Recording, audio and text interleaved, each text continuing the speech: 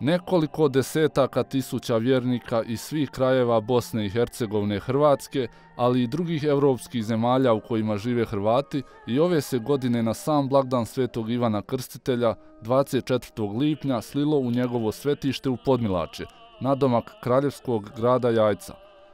Program proslave u jednom od najvećih hodočasničkih i zavjetničkih mjesta u Bosni i Hercegovini, koje pohode i mladi i stari, zdravi i bolesni, te ljudi različitih vjera i nacija započelo je pokorničkim bogoslužjem u popodnevnim satima 23. lipnja, te je kiv Svetog Ive iznesen u procesiji. Prema uhodanoj tradiciji misu je predstavio vr bosanski nadbiskup metropolit Vinko kardinal Puljić. Vr bosanski nadbiskup je u svojoj propovjedi govorio o aktualnim problemima i događanjima u društvu, te ih povezao sa životom i djelovanjem svetog Ivana Krstitelja. Drago moja braćo i sestre, ovdje sad još jednu stvar moram progovoriti. Što bi rekao Sveti Ivan Krstitelj nama, Hrvatima, katolicima, koji kukamo zadnje vrijeme, ode nam svijet. Ode neki odoše jer stvarno ne mogu zaraditi. Neki odoše traže kruva na pogaču. Da, misle ovdje ću ja prestati biti Hrvat katolik. Nemojte misliti da će to ostati.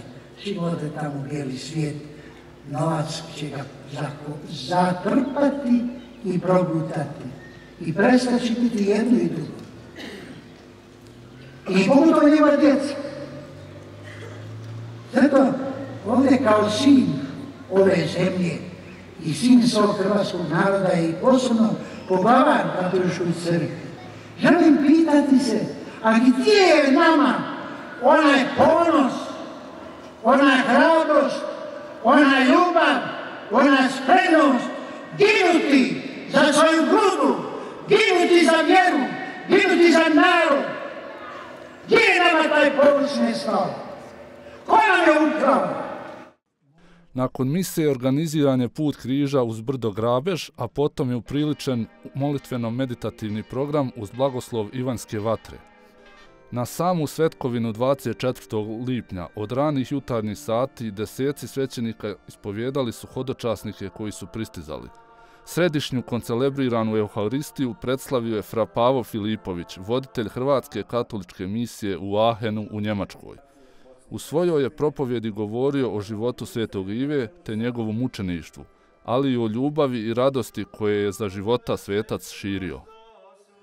Čudi se sveti Toma iz Vila Nove kad razmišlja o ovoj sceni krštenja Isusova od strane Ivana Krstitelja i kaže ovako, pa kaže u Svetom pismu se da je tamo bilo silno mnoštvo svijeta, da je tamo bilo i veliko i malo, i mlado i staro.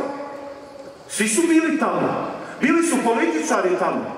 Bili su predstavnici vrhovnih vlasti i političkih i crkvenih. Bio je običan svijet i narod, bolesni i zdravi. Kako to da ga nitko nije prepoznao? Jagajca Božje, nadu ovoga svijeta, radosnu vijest, svjetlost naroda, kako ga nitko nije prepoznao osim Ivana Krstitelja? Zar nismo i mi danas u takvoj situaciji? Ne prepoznajemo radost, izlaz, nadu. Živimo u tjeskobi, u tjeskobnim vremenima. Kaže Papa Benedikt XVI. 20. stoljeće bilo je značajno po tome što su se ljudi naivno nadali i svakome vjerovali. Pa su onda išli za svakakvim ideologijama i ideolozima a na kraju razočarani na ruševinama društvenim i osobnih života našli su se i zatekli danas u 21. stoljeću da više nikom ne vjeruju, da se više gotovo ničem dobru ne nadaju. Svetište svetog Ivana Krstitelja u Podmilaču danas slovi kao najveće nemarijansko svetište katolika u Bosni i Hercegovini. Mnogi vjernici su i ove godine molili za zagovor moćnom zaštitniku svetom Ivanu, prelazeći pješice i više od 100 km kako bi na svetkovinu bili u njegovu svetištu u Podmilaču. Ivan dan je najznačajnija svetkovina ljetnog ciklusa. Neki ga nazivaju i ljetnim Božićem.